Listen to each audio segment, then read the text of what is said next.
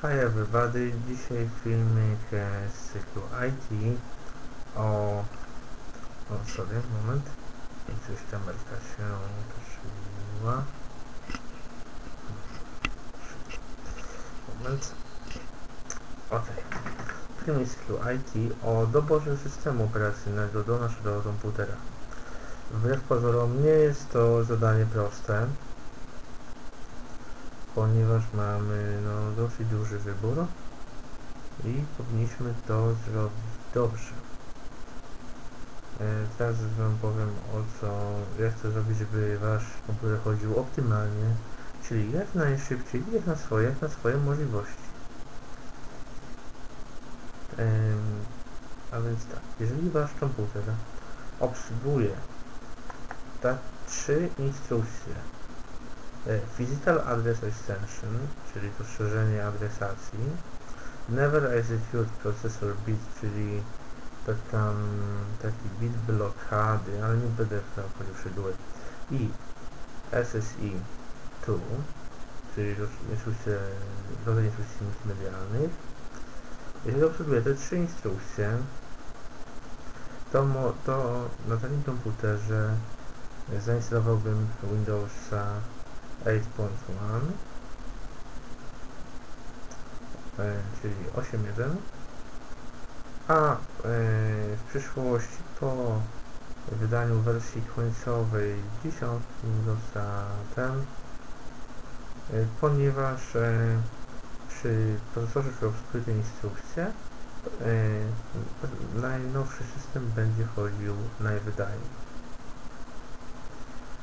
jeżeli wasz komputer jest starszy, macie starszy procesor, który nie obsługuje tej instrukcji, sprawdźcie, czy istnieje możliwość wymiany procesora na obsługujący te instrukcje. O wymianie procesora e, jest jeden z moich filmików, gdzie dokładnie omówiłem e, w jaki sposób e, dobieramy procesor do naszej płyty głównej. Jeżeli istnieje taka możliwość, żeby zmienić procesor na obsługujący te trzy instrukcje, czyli Physical e, Address Extension, NXBit i SSI2, e, to po prostu zmieniamy procesor i stawiamy Windowsa 8.1 ewentualnie jeżeli będzie już wydany to ten. E, następnie jeżeli nie ma możliwości zmiany procesora na obsługujący te trzy instrukcje to ja bym zostawił na takim komputerze Windowsa XP ponieważ e, idąc e, chronologicznie, tak jak systemy były wydawane to były to do tej pory były raz, dwa, trzy, cztery naprawdę dobre systemy Microsoftu. To jest Windows NT 4 z 96 roku. Windows 2000 z roku 2000 XP i obecnie 8.1 yy, więc yy, jak mamy wyjść? Yy, nie polecam stosowania ani listy ani Windowsa 7 7 ponieważ moim zdaniem są to największe niewypały Microsoftu. Osobiście za Sevenem nie przepadam. Wiele osób chwali Windows 7. Ja jestem zdania, że mimo wszystko nie jest to taki system, jak byś powinien. I gdyby nie to, że, że ma tą zaletę, że nie wymaga tej instrukcji, to wszystkie komputery, które chodzą na 7 bym zablidował do 8, do Windows 8. Ale no, niestety e, tutaj e, już są wymagane te instrukcje. Jeżeli macie to Maca, czy komputer ze stajni Apple, to jedynym rozsądnym moim zdaniem systemem jest macOS, czyli system Apple'owski, który jest najbardziej zoptymalizowany pod tą platformę hardware'ową I tutaj zostajemy na macOSie, go aktualizujemy do najnowszej wersji i, i tyle. E, przypa- e, nie polecam e, użytkownikom takim, którzy nie chcą za bardzo się angażować w obsługę systemu, e, zajmowanie się tym pod względem, nazwijmy to, bardziej adva- advanced users e, Linuxów czy systemów BSD e, czy systemu Solaris. Ponieważ dużo czasu spędzicie na jej konfiguracji, a e, dla zwykłego człowieka e, operating, operating system powinien być jak najprostszy, jak najwygodniejszy, co moim zdaniem e, Windows 8 bardzo dobrze zrobił. Teraz jeszcze kwestia architektury. E, architektura jest zależna od tego, jaki macie procesor. Może być albo 32-bitowy, albo 64 bit. Jeżeli wasz procesor obsługuje instrukcję 64 bit, a możecie to sprawdzić programem CPU Z albo na stronie cpuword.com e, Linki do tych programów są pod, pod moim filmikiem, w którym omawiam e, procesory tam sprawdzicie sobie albo na tej stronie, albo tym programem, czy wasz procesor obsługuje instrukcje 64-bitowe. Wtedy zalecałbym wam zainstalowanie systemu 64-bitowego. Jeżeli wasz e, procesor takich instrukcji nie obsługuje, zostaje wam system 32-bitowy. Teraz kwestia dysku i pamięci RAM. Y, pamięci RAM y, no, nigdy nie jest jej za dużo. Czym więcej, tym lepiej. Jeżeli macie możliwość zastosowania modułów DDR3, czyli DDR3,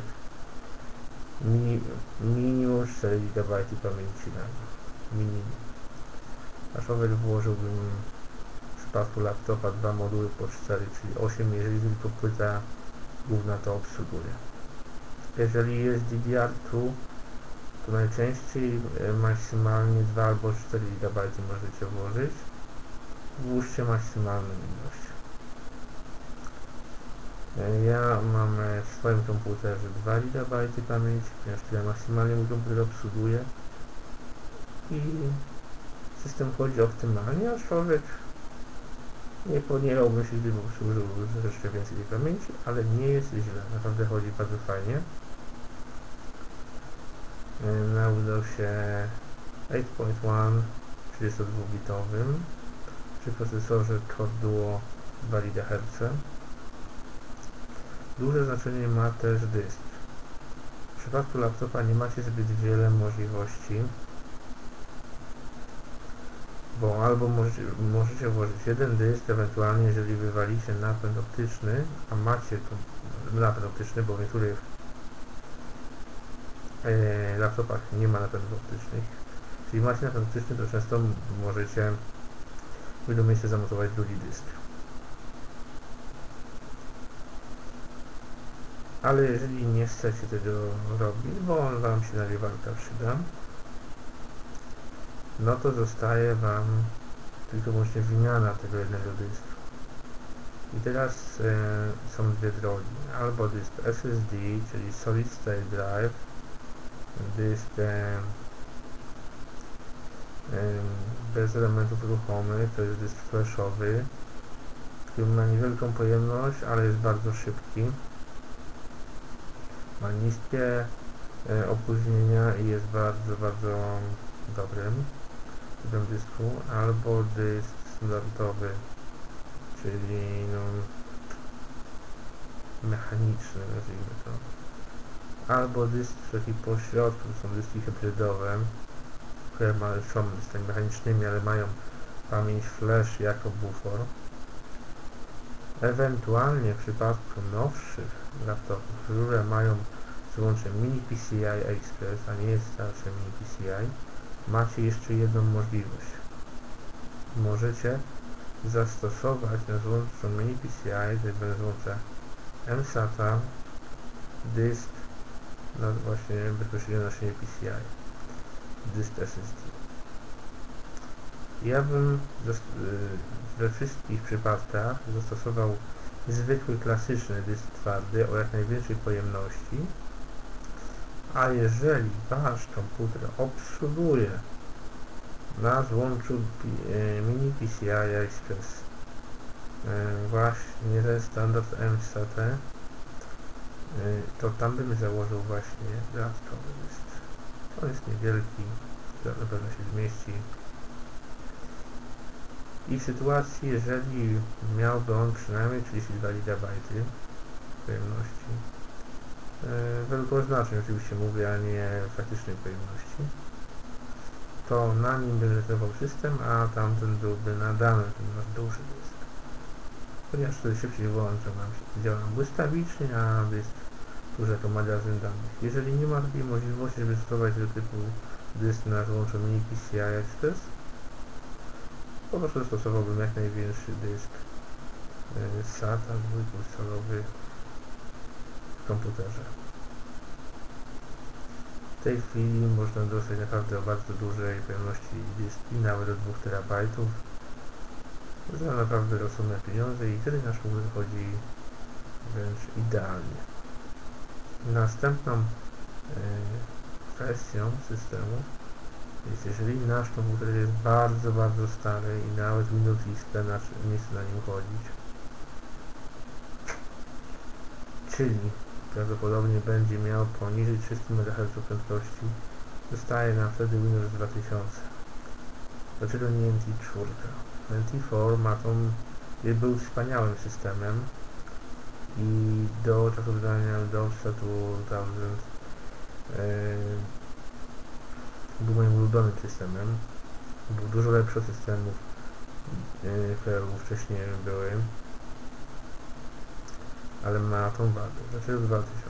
Dlaczego Windows 2000? Od, dla takich starych bardzo komputerów.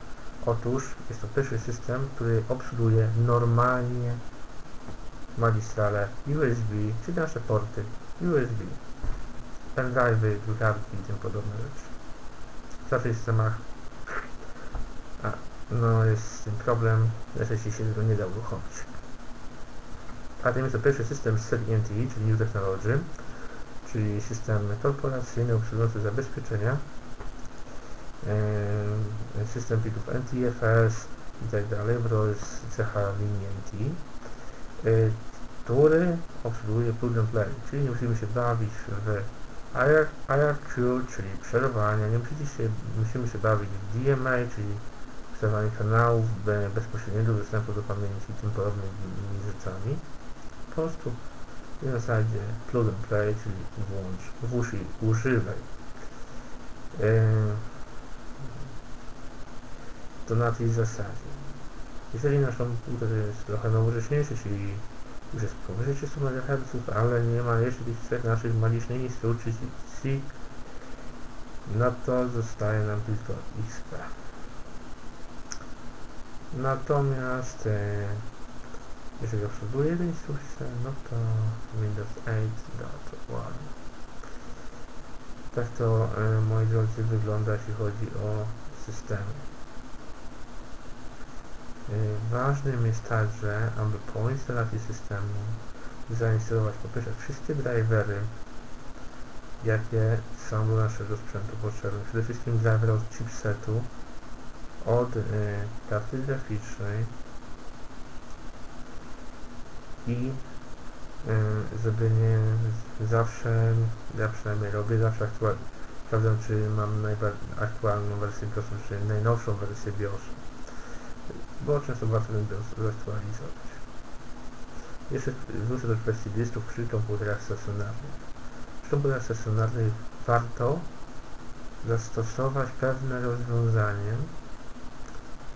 E, czyli macierz dyskowy.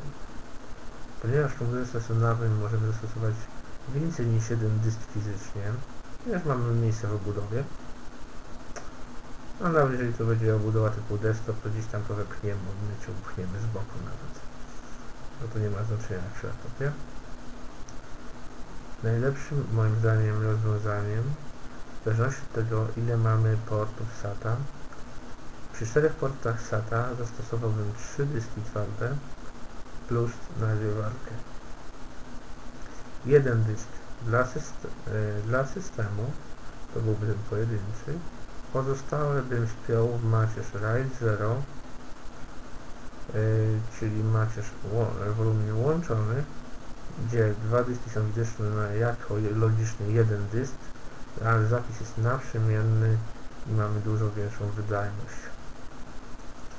W przypadku, gdybyśmy mieli możliwość podłączenia więcej niż czterech urządzeń SATA lub mieli port ATA, to przy więcej niż czterech portach SATA zastosowałbym cztery dyski SATA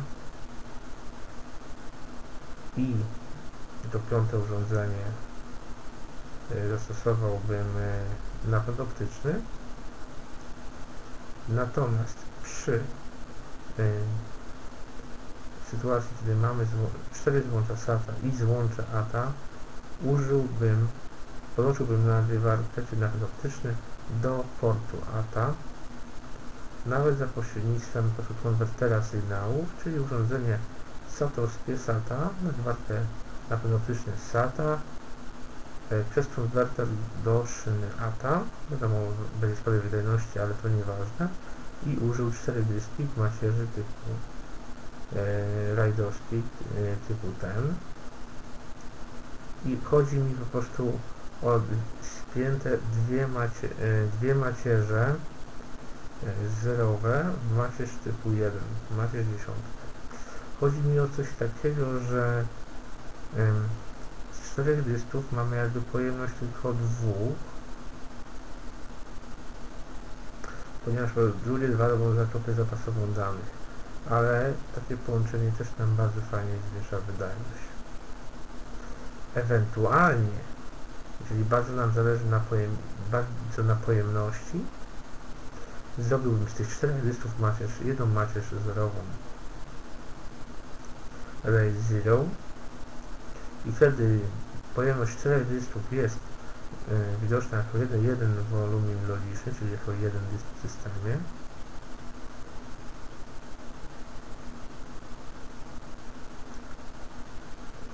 Tylko jest jeden maluteńki problem.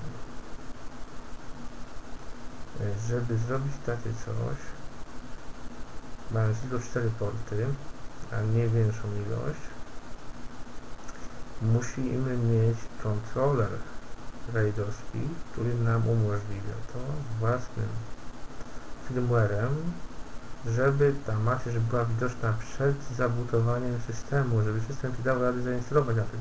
Jeżeli nasz e, będziemy robili to programowo, a nie sprzętowo, czyli nasza macierz będzie dopiero jakby uruchamiana przez system, a nie na poziomie BIOSu, to niestety, ale do, do systemu musimy mieć oddzielony dysk, czyli musimy mieć 5 dysków, czyli musimy mieć więcej portów niż 4, a jeżeli będziemy mieli 6 czy 8 portów, to 5 dysków, no już na praktyczne może iść po SATA.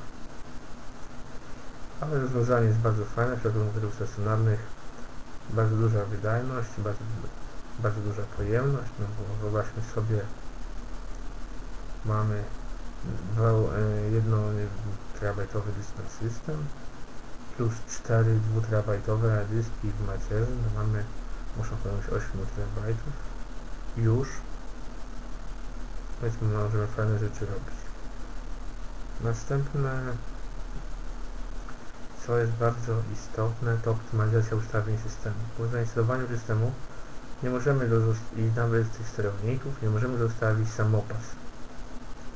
Musimy po prostu przetrzepać cały panel sterowania, wszystkie ustawienia, wyłączyć zbędne efekty graficzne. Chodzi o to, żeby była największa wydajność, a nie pierdoły.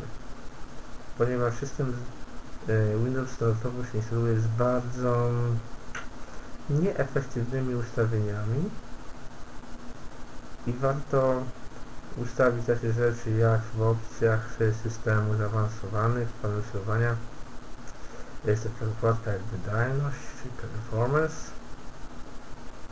Gdzie ustawiamy czy ma być najlepszy właśnie ta cała nasza grafika czy performance grafika w sensie efektów graficznych, a nie karty graficzne oczywiście, efektów graficznych. No to. Bierzemy że performance dodatkowo warto ustawić stałą wielkość tzw. page file, czyli plików wymiany. Yy, ja zawsze przy obecnych wielkościach pamięci RAM ustawiam na poziomie równym wielkości pamięci RAM, ponieważ rzadko kiedy potrzebny jest większy. Najważniejsze jest to, żeby to był sztywny, żeby ustawiony rozmiar. Jeżeli, ponieważ wszystko będzie zarządzane przez system, albo będzie od, do, no to wtedy ten nam się będzie zmniejszał, zwiększał i będzie zamieszanie na dysku. Bez sensu. Ustawiamy stały rozmiar, problem rozwiązany.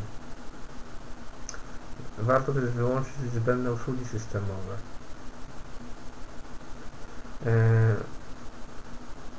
opcje serwerowe, które no, przy normalnym, normalnym desktopowym systemie nie są potrzebne, bo to sobie robimy na e, Windowsach serwer, a nie na zwykłym, czy na Linuxie sobie stawiamy, stawiamy serwery, a nie a nie na 8.1 no bez, bez sensu, włączamy wszystkie te serwery, zbędne pierdoły w e, opcjach sieci wyłączamy nieużywane przez protokoły sieciowe. Najlepiej zostawić TCP/IP wersję czwartą i wersję szóstą. Jeżeli nie udostępniamy po sieci lokalnej przy, e, przy, za pośrednictwem właśnie naszych magicznych nie naszych magicznych yy, po naszej sieci magicznej, nie mówię magicznie magicznie, czyli przez tak zwaną sambę czyli samba, czyli popularnie nazywając otoczenie sieciowe yy, nie udostępniamy sobie po sieci yy, dysków, woluminów, katalogów, drukarek i tym podobnych rzeczy no to wywalmy całą usługę klienta sieci Microsoft Networks wywalmy udostępnianie plików wideokary w sieciach Microsoft Network, bo nam będzie niepotrzebne. Zostawmy same dwa protokoły do WAN. W opcji TCP/IP wersji czwartej wyłączmy e, rozpoznawanie e, e, wy, tam wyszukiwanie urządzeń w sieci na SAMBI. Wyłączamy, wywalamy, żeby było jak najmniej prostu zbędnych pierdów tle. Warto też w ustawieniach protokołów ustawić sobie od razu serwery DNS-a takie jak nam pasują, żeby nam najbliższy, naj, najbliższy router nie a dokładnie to nie dokładnie się wyraziłem, nie router, tylko najbliższy to serwer DHCP, który nam przydziela adres IP nie przydzielał nam też adresów DNS-u, to sam adres IP, żeby nam przydzielał maskę i bramę domyślną. Po prostu DNS-y ustawiamy sobie ręcznie nam bardzo ułatwi życie i może przyspieszyć. Ustabilizować połączenie z internetem. Dodatkowo warto użyć programu TCP/IP Optimizer, który nam zoptymalizuje MTU, czyli ma Maximum Transport Unit i to nam po prostu też pomoże, jeśli chodzi o stabilność. To są takie podstawowe rzeczy, które warto, warto zrobić. Oczywiście po zarysowaniu systemu e, robimy Windows, włączamy Windows Update i wszystkie aktualizacje instalujemy. Najlepiej po prostu raz puścić po zarysowaniu systemu ręcznie Windows Update. Często może to zająć nawet całą noc, aż się to zainstaluje, więc wieczorem puszczamy rano, patrzymy czy już się zrobiło. Jeżeli y, będzie sytuacja taka, że to będzie nam się bardzo wle, wlekło i ślamazarnie szło. Zostawiamy po prostu komputer spokojnie, niech sobie to robi, nie rzuca te aktualizacje. Następnie, jak już te update'y przejdą, się zainstalują, warto zostawić automatyczną aktualizację z interwałem sprawdzania aktualizacji jako daily. Nie weekly, nie monthly, tylko daily i ustawiamy godzinę, o który ma być robiony, ten, ten taki właśnie ten check, są nowe update'y, na taką godzinę, o której zazwyczaj komputer jest włączony. Czyli jeżeli robimy w nocy, no to nie wieczorem coś zrobimy, to będzie 22, 23, jeżeli komputer pracuje w biurze w ciągu dnia 10, 11. Chodzi o to, żeby jak naj, żeby było jak najwyższa szansa, że będzie włączony o tej porze. I to są takie właśnie najistotniejsze rzeczy. Jeśli chodzi o to, co najlepiej zrobić tuż po zainstalowaniu systemu. Oczywiście tutaj w tym takim moim wywodzie i gadaniu o systemach pominąłem nietypowe systemy. Mam na myśli systemy takie jak procesory Alpha AXP, procesory Intel Itanium. Pominąłem stare procesory Syrixa. Pomyl, po prostu no architekturę całkowicie pomyliłem PowerPC i Motorola. Chodzi mi o to, że po prostu powiedziałem Wam o tych najpowszechniejszych infrastrukturach, ale jeżeli interesują Was jakieś bardziej szczegółowe informacje, nietypowe platformy sprzętowe, ym, czyli takie no, wynalazki y, z epoki, jakieś bardzo archaiczne, zadawajcie pytania, chętnie z Wami o tym porozmawiam, chętnie Wam coś tutaj nakreślę, co można z tego zbudować, jeżeli macie jakieś części, hob, macie jakieś takie hobby komputerowe na zasadzie do it yourself, coś tam sobie budujecie, stacjonarki, przerabiacie, macie masę różnych tam starych części. E, piszcie co macie, spróbuję Wam co doradzić, co z tego można zbudować, co można poskładać na zasadzie kostów LEDu, co może z tego fajnego wyjść, do czego się może nadać. E, bardzo chętnie Wam e, w tym pomogę. Tutaj chciałem Wam tylko powiedzieć przy normalnym zastosowaniu, jak najłatwiej sobie dobrać system, żeby to nie było wielkim problemem i żeby no nie siedzieć na jakichś średniowiecznych rozwiązaniach technicznych, kiedy można bardzo łatwo sobie to wszystko unowocześnić, pomóc i zrobić na bardzo fajnie. Zwłaszcza no, nie polecam Wam siedzenia na Windowsie XP zbyt długo, ponieważ z biegiem czasu coraz więcej software'u nie będzie na nim się dało zainstalować. Coraz więcej urządzeń nie da się, nie będzie miało do niego sterowników, będą coraz większe problemy. Więc e, to jest taki dzyn, taki bell, taki, taki bell tutaj dzwoni że czas na Windows 8.1 i do Was zachęcam. Mam nadzieję, że chociaż trochę Wam pomogłem w tych rozterkach związanych z systemami, z wydajnością? I czekam na Wasze pytania. Do zobaczenia w następnym filmiku, bye bye